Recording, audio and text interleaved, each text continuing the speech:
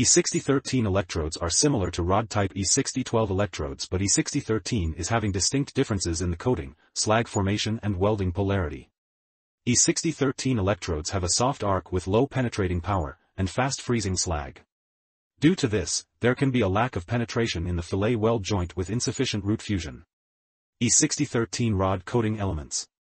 Coverings of E6013 electrodes contain rutile, cellulose, ferromanganese, potassium silicate as a binder, and other siliceous materials. The potassium compounds permit the electrodes to operate with AC at low amperages and low open circuit voltages.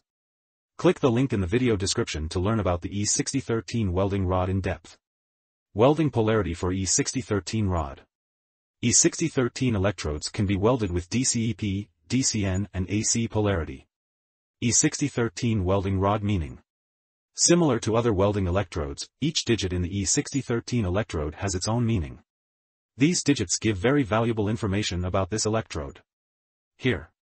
E stands for electrodes for stick welding. The next two digits 60 indicate the tensile strength of the weld deposit is 60 ksi or 60,000 psi. The next digit 1 indicates it is an all-position electrode which means flat, vertical, overhead, and horizontal positions. The last digit 3 indicates it is high titania potassium and can be welded with only DCEP, DCEN and AC polarity. Which materials you can weld with E6013 welding rod? The majority of applications for these electrodes are in joining carbon steel sheet metal due to its soft, low penetrating arc. However, they have been used to advantage on galvanized steel and on some low alloy steels. Typical applications include shipbuilding, buildings, bridges, storage tanks, piping, and pressure vessel fittings.